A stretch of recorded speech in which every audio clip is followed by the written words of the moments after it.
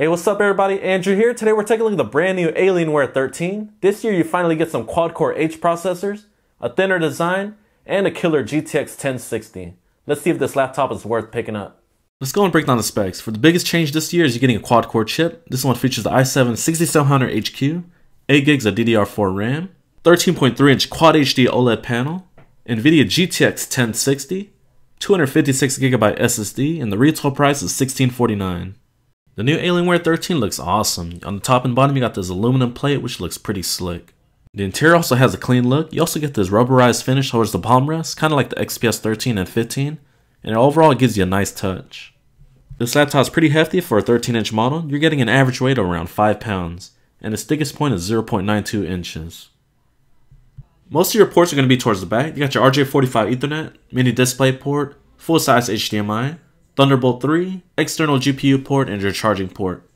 On the right side, you got your USB Type-C, USB 3, and your exhaust vent.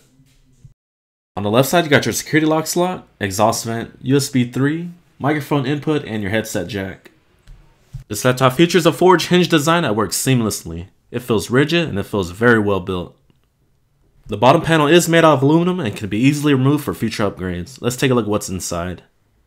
Here you got 8 gigabytes of DDR4, you can expand it to 32 gigs, and two M.2 SSD slots. The read speeds on the 256 gigabyte model was pretty fast, however the write speeds were kinda slow, coming in at around 400 megabytes a second. The panel on here is just drop dead gorgeous. It's a 13.3 inch Quad HD OLED panel that just looks stunning. Man, this is one of the best displays I've ever seen. You're also getting some pretty high color accuracy. The Adobe RGB came in at 99%, and the sRGB coverage came in at 100%. It's also pretty bright, coming in at 334 nits. The viewing angles are actually pretty good. There's only one minor con here is the glossy panel. If you work in bright lighting environments, it can be an issue. The trackpad Adele put on here has been superb. Two finger scrolling, multi-touch gestures, and tracking has been right on target. This is definitely a gamer's keyboard. The key travel on here is excellent, coming in at 2.2 millimeters, and the typing experience just feels very good. Overall, these keys offer a great experience. Using the Alienware FX control panel, you can customize the control zones here on the keyboard to different color options, as well as your trackpad and the Alienware logo on the front. This year's performance has skyrocketed thanks to the quad-core H chips from Intel. Last year's model featured dual-core chips, and that was a big letdown.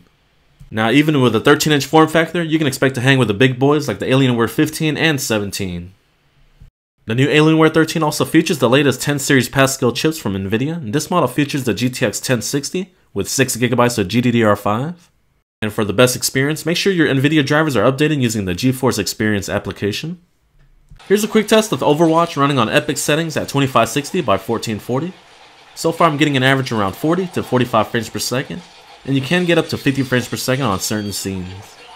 The GTX 1060 is a very capable card that can play many of today's high-end games at 1920 by 1080p on high and ultra settings. After about an hour and 30 minutes of gameplay, you can expect the fans to ramp up to around 50 to 52 decibels. Listen here.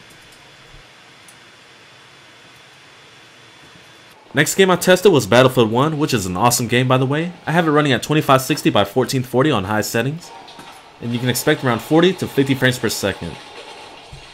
The external temperatures were very good, especially for a small laptop with this kind of horsepower. The top section was the hottest at around 47 degrees Celsius, and the WASD keys remain pretty cool at around 39 to 41 degrees Celsius. During my gaming test, the hottest GPU temperature I got was around 77 degrees Celsius, and the average came in at around 73.9 degrees Celsius.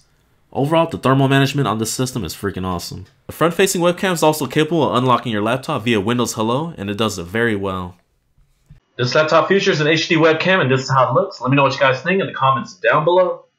The battery comes in at 76 watt hours and you can expect around 3 to 4 hours of light duty casual usage and about an hour and 30 minutes of gameplay. The speakers are on the side and actually sound really good. They can get pretty loud as well, coming in around 75 to 80 decibels. The only con here is the lack of a subwoofer, therefore the bass is really low. Let's get to the conclusion of the new Alienware 13 late 2016 edition. This year's biggest change is obviously the quad-core H chips, which brings big performance gains. Combine that with a thinner design as well as a GTX 1060 and you get the beautiful 13.3 inch OLED panel that just looks stunning. When you factor in all those options, you basically got yourself the best 13 inch gaming laptop on the planet. Yes, it is pricey, however the base model starts at $12.99 and it can go all the way up to $34.99. Alright guys, this completes my full review. I hope you guys enjoyed it. If you did, please be sure to smack on that like button and don't forget to sub. Thank you guys for watching and I'll catch you guys next time.